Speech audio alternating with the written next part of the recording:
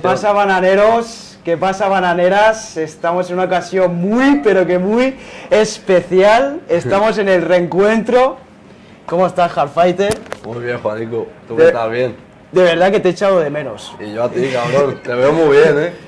¿Has visto lo, lo bueno, lo que iba haciendo, no? Sí, sí. Te voy viendo el trabajillo, todo. Te veo también físicamente todo bien. Te veo con que vas mejorando también tus movidas de tu curro. Así que muy bien todo. Yo tengo que decir, habrá otro combate con nosotros dos. Como tú quieras. Pues el próximo más en serio, que te he dado tiempo para entrenar y ni has entrenado ni nada, cabrón. No, la verdad que sí, que, que fue ese viaje de Holanda, tío. Me acuerdo que estaba todo delgado, todo desnutrido. Escucha, escucha, ¿cuántos días has estado en la vida conmigo en total? Igual, tres, cuatro. Sí. Y has hecho tu primer combate boxeo, te has comido unas setillas. Un Si te, tiras un año entero, si te tiras un año entero conmigo, te la gozas. Salgo hardfighteado. Esta entrevistilla, ¿vale? Me he preparado preguntas eh, no sensacionalistas, ¿vale? Porque no las quiero llamar así, pero creo que sí, que son con una temática social, ¿vale? Ah, vale, vale. Eh, en tus canciones siempre mencionas ir en contra del sistema. Hmm. Me gustaría saber qué opinas del sistema actual, de, todo lo que estamos viviendo actualmente en España. Pues bueno, aquí vivimos como en toda Europa en un sistema capitalista en el que, pues eso, si- te pones a mirarlo bien, no lo voy a explicar yo ahora aquí porque no soy economista ni mucho menos, pero bueno, que es una estafa en sí en la que la gente rica, que son pocos, aprovechan de los pobres, que son muchos, y por ya nada más por, por cómo está montado, a mí me parece que está mal. Aquí en España concretamente mucho peor porque los políticos que tenemos son muy corruptos, eh, se preocupan siempre de ganar sus votos pero no se preocupan en verdad de la población ni de la situación del país ni de nada. Así que está la cosa fatal, pero bueno, eso ya lo sabéis un poco lo que opino. ¿De dónde crees que te sale esta faceta tuya como de reivindicar los valores del trabajador? A mí de mi familia, a mí eso me lo ha metido mi padre de pequeño en la cabeza como vamos. Pero como un martillo, ¿sabes? Que otras cosas igual ando más igual, pero esas cosas en mi casa, la conciencia de clase y las ideologías y esas cosas me lo han metido muy fuerte desde pequeñito, la verdad. Actualmente ha salido la noticia de que Pedro Sánchez puede que dimita. Mm, No me entero mucho porque no veo mucho la tele, pero lo veníamos comentando en la furgoneta. Pues que dimita. no creo que nadie se vaya a preocupar mucho, ¿sabes? Creen por culo.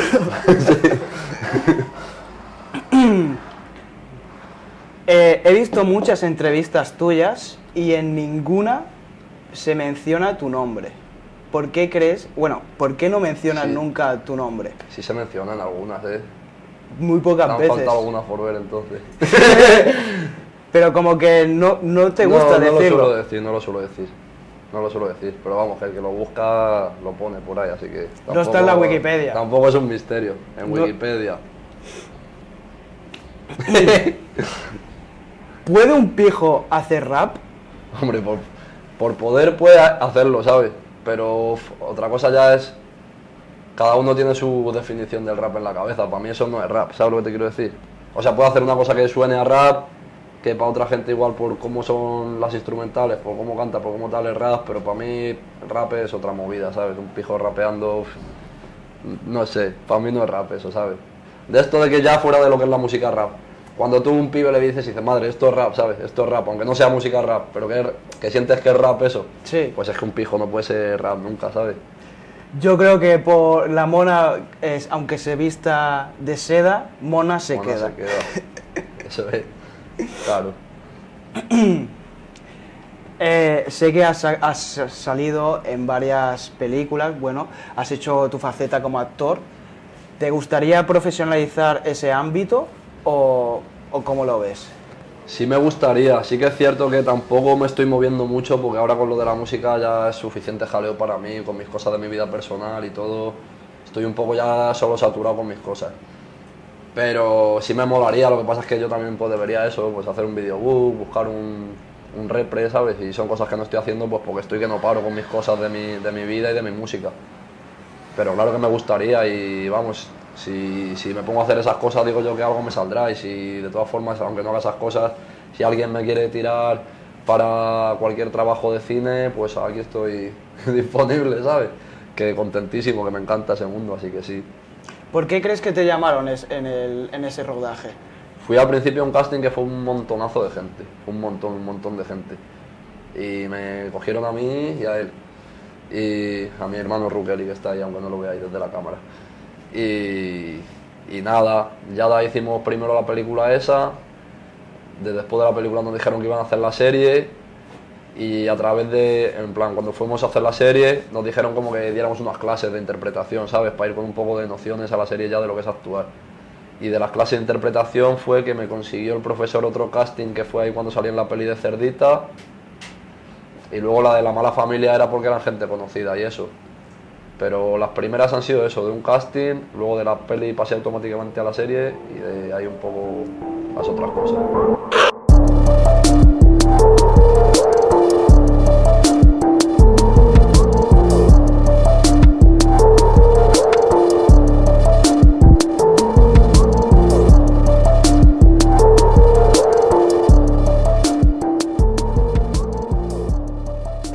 Esta parte de la entrevista ha sido después del concierto. Si veis a Hardfighter un poco, bueno, coño, acaba de cantar. Si lo veis cansado, es normal.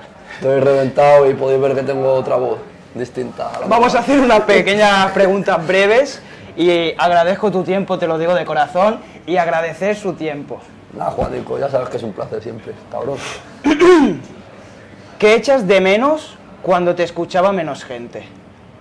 Pues yo creo que sobre todo lo que echo de menos es el anonimato, ¿sabes? Poder ir por ahí tranquilo sin que me conozca la gente, poder hablar de lo que sea en una terraza sin que me conozca la gente.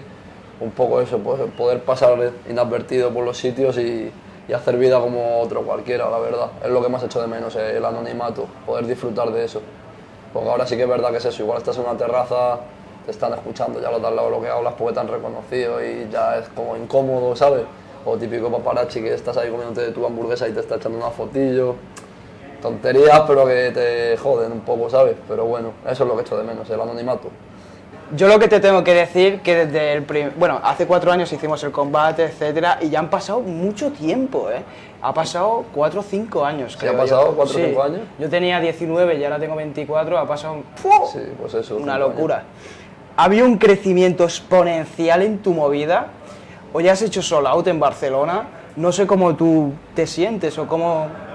Pues la verdad, gozándomela muchísimo, porque pues ya has visto, llevo casi todas las giras solados, casi todas las salas llenas, la gira anterior también, y la verdad que gozándola, gozándola, asimilándolo un poco todavía, porque todavía estoy como flipando un poco y estoy ahí en la movida todavía como que no lo estoy asimilando del todo, ¿sabes? Pero gozando, gozando muchísimo, no me quiero mal acostumbrar, sé que esto es un momento muy bueno, ojalá vaya mejor, pero tampoco me quiero flipar y, y tranquilamente disfrutando del momento y aprovechándolo al máximo todo, gozando. Yo lo que tengo que decir, no sé cómo lo ves, pero eh, como que la música de Hardfighter se está como poniendo de moda. Como que has creado un género y ahora se está como, no comercializando, sino como que se está poniendo de moda. Sí, digamos que cuando yo empecé a hacer música, pues como decía muchas cosas muy directas, era muy explícito en las letras, hablaba de, de violencia, de robar, de cosas que, pues bueno, pues a la gente le chocaba un poco, ¿no? Porque el que hablaba de esas cosas en esa época lo hacía como un poco metáfora, no lo hacía tan directamente, también había mucho rollo ese de si, si lo cuentas es que no lo haces, tal. Y pues bueno, ahora cambia un poco el rollo, igual sí que he sido yo el que ha abierto un poco por ahí la, brecha. O sea, había más gente haciendo música así, pero que haya funcionado y que haya llegado eso, a escucharse a nivel de, pues eso, haces una gira, de salas, de tal. Y no es lo normal en este tipo de música, ahora cada vez más, ahora cada vez hay más artistas que hablan de esas cosas y está como más normalizado, por así decirlo, más mejor visto. Pero sí que puede ser que haya yo como abierto esa brecha de hacer ese tipo de música y, que funcione. También es como un género como tal, porque tampoco hay mucha gente que haga así como en plan, yo no estoy copiando, no me puedes. Casi todos los artistas de España, tú puedes coger y decir, este está copiando a este de Estados Unidos, este está copiando a este, este está copiando a tal, y te lo pones y lo ves. Yo, pues bueno, he mamado muchas cosas, mucho rap muy loco, he escuchado mucho punk, escu- no sé. Lo mío es una cosa que es bastante genuina mía y propia mía, y sí que es como un género, la verdad. Así que muy contento de haber hecho mi rollo personal y que encima esté funcionando y, y que le guste a la gente y se la gocen. ¿Hasta qué edad tienes pensado seguir con la música? Pues bueno, esto es una cosa que lo pienso a veces, pues no sé. Yo no me veo, igual, no me veo con 40 años igual, sacando las canciones que saco ahora con ese tipo de letras y con ese tipo de tal. Y sí que es verdad que en el momento en que yo tenga que cambiar el mensaje o hacer algo igual más suave ya porque no me vea con esa edad ya haciendo lo que quede ridículo que sea, yo antes de cambiar el rollo pues igual dejo de hacer música porque Hardfighter es Hardfighter y, y mola que sea Hardfighter, ¿sabes? No mola que de repente acabe siendo cualquier fumada, ¿sabes? Entonces, pues no sé bien, no sé, igual puede que siga haciendo bolos pero no saque tanta música, igual paro, igual sigo, es que no sé, también hay veces que me pasa sobre todo con los raperos que si los veo así más mayores cantando esas movidas así, vestidos tal, me da como no me gusta, no me gustaría a mí verme así, pero sí que es verdad que con artistas de otros géneros, igual de punk, de rock, de cosas de esas, aunque los vea mayores dando sus conciertos, haciendo sus movidas, estética, no sé, como que sí me mola, ¿sabes? Entonces, pues no sé decirte muy bien, no sé qué pasará. Bolos espero seguir dando y que sigan funcionando, la verdad. Y música, pues de momento sigo teniendo una vida bastante loca y bastante de fuente de inspiración, así que de momento voy a seguir haciendo música en el momento que ya me vea que no es de verdad, que no, no sé qué, que tengo que estar aquí con, yo qué sé, igual, en ese momento igual ya paro, ¿sabes? Pero no se sabe muy bien cuándo va a ser, ni le quiero poner una fecha de caducidad, ¿sabes? Pero es un poco la paranoia que yo tengo en mi cabeza. Yo considero que tu música ha trascendido, pero con eh, la electrónica puede que trascienda más. Es verdad que al, al hacer yo muchos géneros distintos, eso es algo bueno porque siempre lo he hecho desde el principio, yo he hecho reggaetón, he hecho electrónica, he mezclado, he metido cosas de punk, de flamenco, siempre he mezclado todo mucho. Entonces eso es lo que tiene de bueno, que ahora mismo está de moda el rap, no sé qué, el día que se pase de moda el rap y esté la gente más con la electrónica o no sé qué, pues yo soy una persona que ya lo llevo haciendo desde el principio y lo voy a poder seguir haciendo, ¿sabes? Entonces yo te puedo llegar a un show de electrónica y darte un show entero con música electrónica. Yo te puedo, me puedo llevar a una discoteca de reggaetón y me puedo tirar todos los temas de reggaetón me puedo hacer un concierto mío aquí con todos los temas de todo un poco mezclado, sabes que también he estado haciendo cosas con un grupo de punk, en verdad yo qué sé, no estoy preocupado por eso, eso es perfecto para mí, porque soy muy abierto para todos los géneros, la verdad. ¿Has tenido una mala experiencia con las drogas? Bueno, yo, como tal, personalmente yo, en mí, no, la verdad. Yo, pues cuando he sido más chavalín he experimentado, como todo el mundo, me he estado drogando, pero no he tenido yo un problema de droga, de que haya estado yo adicto a nada, ni nada de eso, la verdad. Aunque mucha gente se piensa que sí, no sé por qué, pero nunca he tenido problemas de ese tipo. Lo que sí que he tenido problemas cerca míos, en, familiares, en amigos, en tal. Y pues bueno, pues cuando era jovencito me llevé un par de hostias fuertes de la vida y eso hizo que me alejara de todas esas cosas, que no supiera saber nada más. Y, un poco eso, eso, esas dos cosas fuertes que me pasaron, ir viendo también amigos que se han alejado, que se han quedado hechos polvo por, por estar con esos rollos y en general un poco ver lo que te hace eso en tu vida, en la gente, ¿sabes? Que simplemente ver lo que hace y te quieres alejar de ello. Yo ahora a mis amigos, pues yo qué sé, les doy mi, mi, consejo, les voy de frente, les digo la verdad, no me gusta que se droguen, ¿sabes? Tampoco doy la chapa de más ni me pongo a hacer de padre con nadie porque ya he hecho eso anteriormente con amigos, lo he intentado, estar detrás de ellos, no sé qué, y tampoco sirve de nada, tiene que ser una persona misma la que quiera cambiar eso y dar el paso a ella y de verdad dejar esas cosas, ¿sabes? Pero bueno, ya a todos mis amigos les doy mis consejos, les digo la verdad y luego ya cada uno con su vida que se apañe un poco y que haga lo que vea, pero yo es lo que le digo a todo el mundo, eso no lleva nada bueno, es una ruina que flipas y te va a joder la vida, la verdad, es que es lo que hay. Pero vamos, la droga, tanto la droga dura como el alcohol, como muchas cosas, ¿sabes? El tabaco. Sí, sí. Actualmente está en auge la depresión. Considero que ha metido un repunte estos últimos años en la sociedad, sobre todo en los jóvenes. Me gustaría saber qué mensaje, qué, le dirías a los jóvenes que tienen depresión. Pues nada, sí que es verdad que ha habido un auge, hay gente que dice que es porque está más expuesto y eso. Yo creo que también tiene mucho que ver con las redes sociales, porque es uno de los principales motivos, yo creo, de que los chavales estén tan con depresión y eso.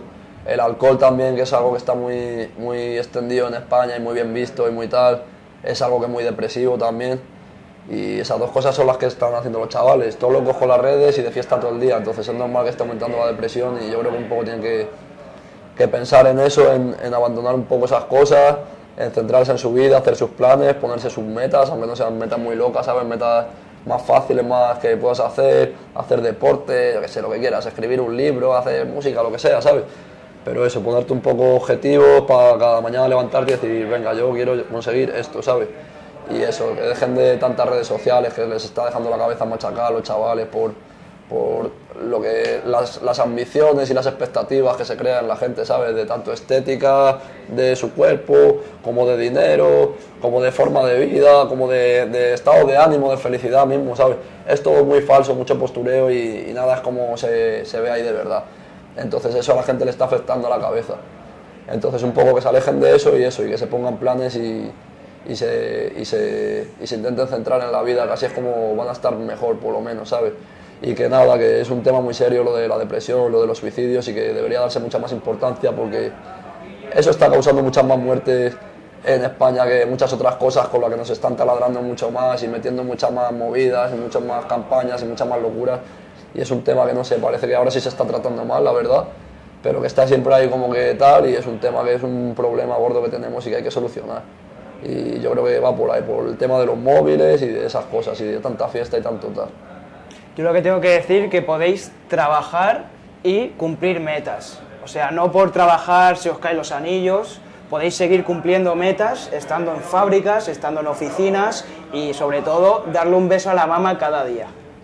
Y es muy importante también eso que tú has dicho, no todo el mundo puede ser rico sin trabajar, o no todo el mundo puede ser youtuber, no todo el mundo puede ser instagramer, ¿sabes? Ese es el problema que ahora los niños están viendo en plan a gente que te dice, mira, gano no sé cuánto en un día y mira lo que hago aquí, cuatro fotos, no sé qué, y se piensan que eso es la realidad, eso no es la realidad, eso lo puede conseguir alguna persona, y si a ti te gusta, está bien que luches por eso, como tú con las entrevistas, como yo con la música, como lo que sea pero no te tienes que frustrar, en plan tienes que hacer tu vida a la vez. Tienes que o estudiar, o currar si hay que currar, o lo que toque. Y tú mientras, pues de hobby, te vas haciendo tu música, vas haciendo lo que tú quieras. Si con eso triunfas, te las has gozado. Pero tú no puedes ponerte eso en la vida como principal y esperar que eso te funcione, porque si no te funciona, te va a crear un, te va a crear un, pues eso, una frustración, una movida que, que no es buena. Entonces, yo que sé, que la gente se tranquilice, que no todo el mundo podemos ser ricos, no todo el mundo podemos estar, ¿sabes? Mira, yo, es lo que hemos hablado antes. Llevo dos años de,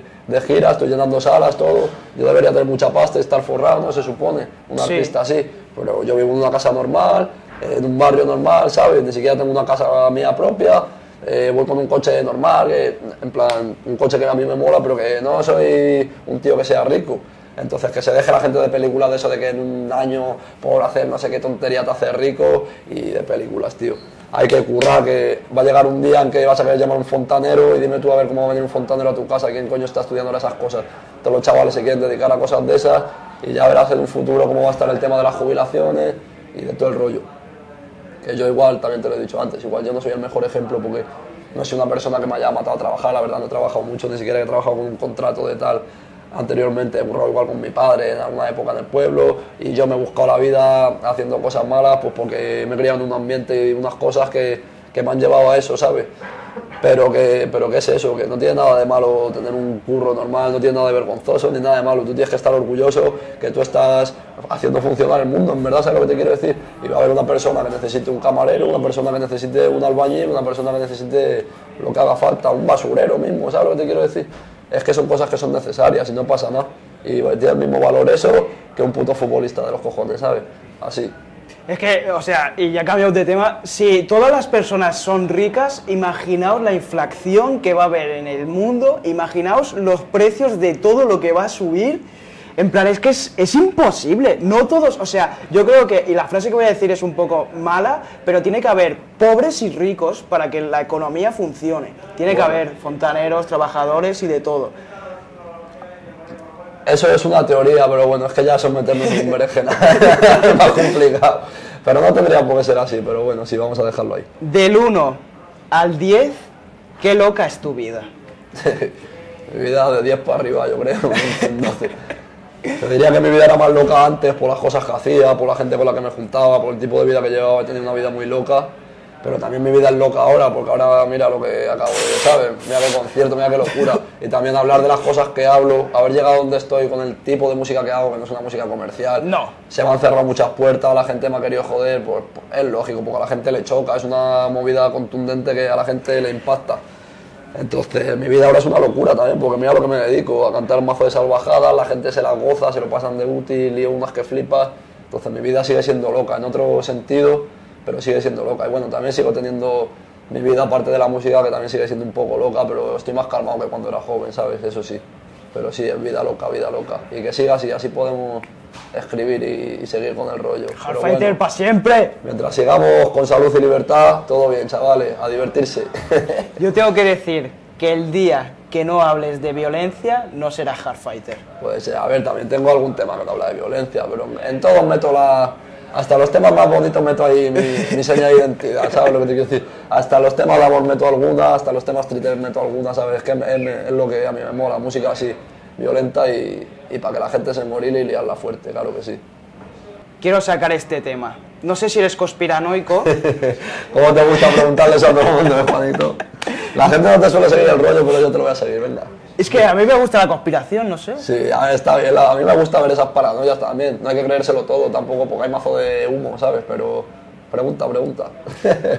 No sé si sabes lo que es la Agenda 2030. sí, ¿Qué opinas de la Agenda 2030? pues es algo que nos están vendiendo como que es algo mazo de bueno para acabar con la pobreza, para acabar con la... para mejorar como el, lo del cambio climático y todo Sí. eso. Nos están vendiendo que es todo para cosas buenas y creo que en realidad tiene un trasfondo muy chungo, que es una dominación mundial muy heavy que ya está pasando con todo el tema de pues, de identificación, de, de, de cámaras, de los móviles. Por ejemplo, tú que eres conspirando con lo del chip, eso típico, no hace falta ningún No, chip, ya lo sabes todo el mundo, el lo del móvil. chip es este Sí. Cosas así, ¿sabes lo que te quiero decir? Eh, todo lo que es eh, DNI europeo, todas esas cosas que van como a englobar todo el poder y tal, hacen más complicado que la gente pueda rebelarse, ¿sabes? El día que todo esté tan compacto, que, tal, que ya está un poco así, porque bueno, es que no sé hasta qué punto la gente lo que piensa del público o tú, pero bueno, ya sabes que los gobiernos tanto son tan importantes como ciertos, ciertas empresas, ciertos bancos, cier- cierta gente muy poderosa y está muy complicado todo esto. Agenda 2030 ya lo vais a ver lo que es, vamos a flipar, no es algo bueno. Lo vemos, queda poquito, chavales, ya estamos casi 2025, ¿no? Pues cinco añitos, chavales, disfrutar que nos vamos a la mierda. Pedro Sánchez. Pues nada, hasta aquí la entrevista, de verdad que muchas gracias ti, y me alegro mucho de verte. Y yo Te lo igual, juro, cabrón. te quiero mucho, y eh. yo igual. Chavales, nos vemos. Es el entrevistador más duro de España, chavales, y de todo el mundo. Muchos likes para Juanico. Like y subs, nos vemos. Gracias, tío. Ahí está. De puta madre, joder. Ole. Van a ser luego, eh.